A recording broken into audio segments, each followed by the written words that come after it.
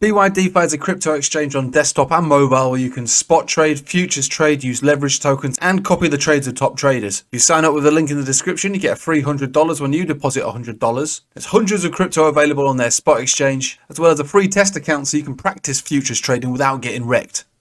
BYDFi. Hello, everybody. Welcome back. We're going to talk about alt season, and um, are we, we going to get continuation? What's the evidence for it at the moment? I mean, for us, it's been alt season already for the last four or five weeks. We've been, you know, using alts with dramatic gains, and we want to know if there's going to be continuation for some of these other alts that are lagging. So I did a Patreon live stream last night. We looked at a lot of altcoins, and it was pretty apparent that no altcoin is created equal. That's always that's always been my catchphrase, or one of my catchphrases, but it's um, it's it's becoming more evident that that is definitely the case at the moment. So some have really good setups, some don't have that good setups. Um, some have blown up, uh, some are creeping up, and some are pushing resistance and looking to break. So I've got a few examples here um, to uh, to show you that, uh, and then we're going to have a look at evidence for continuation of an alt season. Right. So first of all, we all know that some of these alts that we've been trading have gone crazy. One of the first ones we were dealing with last uh, last month, I suppose. Now, isn't it? Really? Yeah. I mean, it was about four, four or five weeks ago when we presented this as one of the best charts in crypto. Uh, and now look at it. So absolutely tearing it up, super bullish. Uh, basically, from entry points, uh, it's it's more than doubles, about 150%. Not that I obviously held it for that amount of time. I traded it, taking position, uh, taking positions down here, exiting here and here. So yeah, I mean, obviously that is the trader's tool. So decent gains all the same, but really good trend. That has by far exploded. This was a good chart anyway. This is the whole point of making that video, saying this is why I like this chart. It's really good, respects its chart, and should have a good degree of success, and it did. Um, next on the list is going to be um, uh, XRP, which is also a good chart, and not quite the same as INJ, but it is a good chart, and it does point to further upside, even from this level. I'm not suggesting you buy it at this level, but I'm just saying, you know, it's a good chart that has respected its chart and is more bullish than most.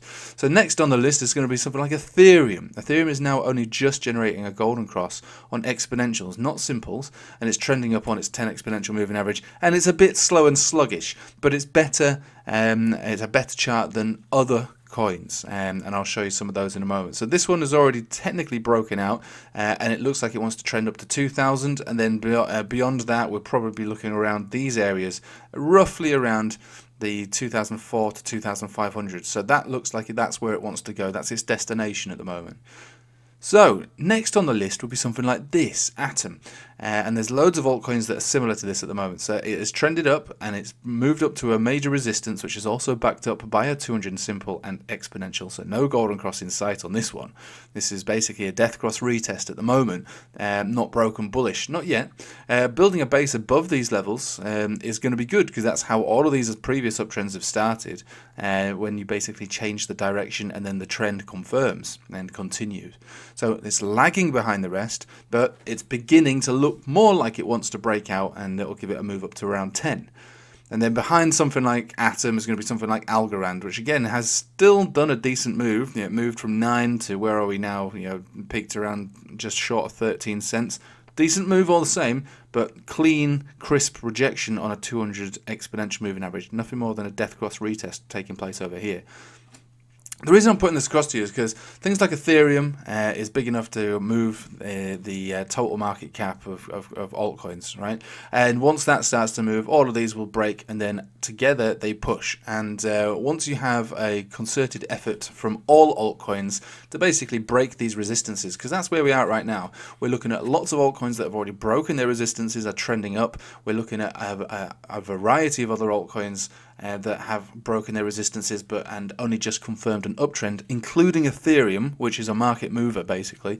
And then you've got other ones which are not small coins, but uh, many many of them that are pushing resistance at the moment. So if there is a move on Ethereum and it allows for the market to, to decide that uh, actually altcoins are okay for now, we can continue with these. Then we're going to get breakouts of these resistances.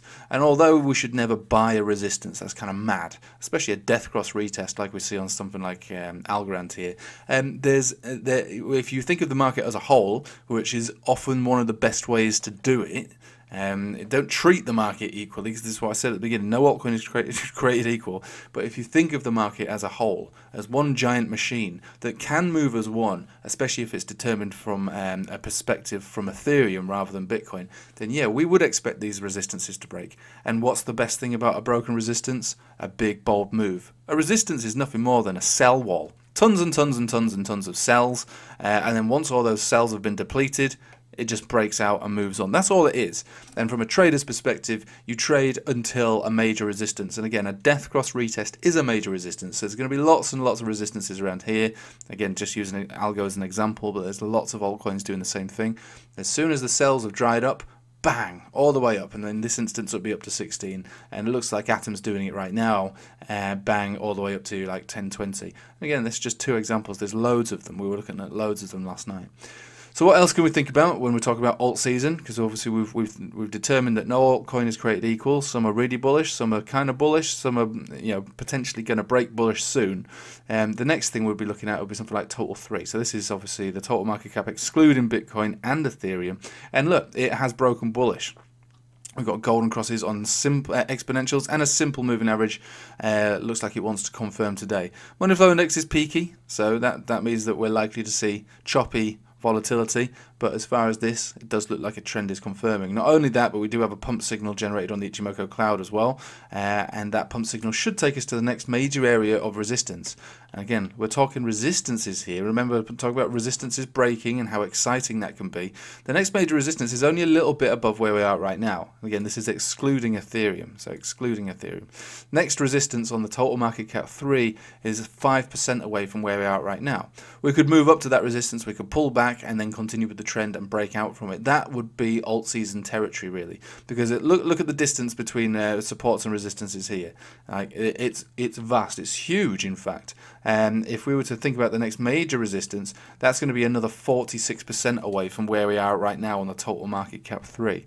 That would be huge absolutely huge for altcoins. And again, really, really, really worth looking at the right ones with the best setups because again, no altcoin is treated created equal, but we are trying to think about the market as a whole about what it's possibly capable of in the short term, really, if we can break this resistance. So that that's that's one of the main things I wanted to put across. Resistances are being tested right now, and if they break, they give way to like a huge amount of gains and it would happen very quickly. Again you know that that that is hopium but but this is also hopium based on technicals yeah? And we're looking at ethereum potentially breaking bullish now and um, confirming a trend and trending up. Again not not huge but uh, a relatively decent move um, to uh, 2500 so it's not it's not nothing. That's uh, that's definitely okay you know we're talking about a move of give or take about 33% you know 30% for ethereum. You can only assume that other altcoins with smaller market caps um, will trend with that more aggressively yeah and that's an assumption, obviously, based on obviously being in this market for many, many, many years. You know, and the the only other thing that's worth you know thinking about is going to be the Bitcoin dominance. Now we've been talking about this uh, on and off for a few weeks, um, trying to spot tops on this. The last at, uh, attempt at trying to spot a top was this 50 exponential moving average, which in the past has had a clean rejection from it and gave us the alt season that we saw in 2019. Uh, the uh, the only other one on this monthly was the uh, all time high not the all-time high, but the most recent local high, which is 73% dominant.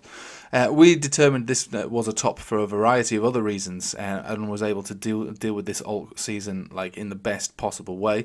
Uh, but we we have to see that obviously that exponential moving average was not appropriate. You can only assume that actually there's probably another moving average that could have been more appropriate. Maybe uh, if this is a 50 exponential, maybe a 55 um, exponential moving average could have seen it uh, being relevant. But again, this one was relevant. This time it wasn't. Uh, this time it wasn't. So maybe maybe there is another moving average of more significance that, that helps there. However, um, it does feel like it wants to uh, get a little bit toppy. The money flow index on here sitting at 60, uh, 76 on a monthly. Um, um, look, I'm I'm okay with the idea of this uh, consolidating. Uh, breaking down is a different story. I don't really feel like it wants to uh, break down. It's too it's way too early to say. A breakdown would be below 50% on this occasion because you'll be losing the 200 simple and exponential moving average. So let's not get too overexcited in the short term about a potential breakdown. But since we've lost the Bollinger Band, The next potential uh, support is 52, and then below that is basically just below 50. So uh, it does look like continuation in the short term is not unlikely. Uh, it's probably more likely than not. And so alt season, if that's what you wanted to call it, um, might have continuation. So hopefully that has put it into perspective. No altcoin is created equal, but the market can be treated as one. Um, we've got a variety of different altcoins with variety of different setups, and uh, hopefully going to be driven with uh, Ethereum's current um, position on the chart, which is one of a breakout effectively and, and an uptrend confirmed with a potential 33% move in it. I would assume, again, assumption is it will make an ass out of you and me, but I would assume that if Ethereum can do that move of 30%, then some of these altcoins that we like and, and hold you know dear to our hearts will do you know double that, triple that, quadruple that, you know, because of the market cap scenario.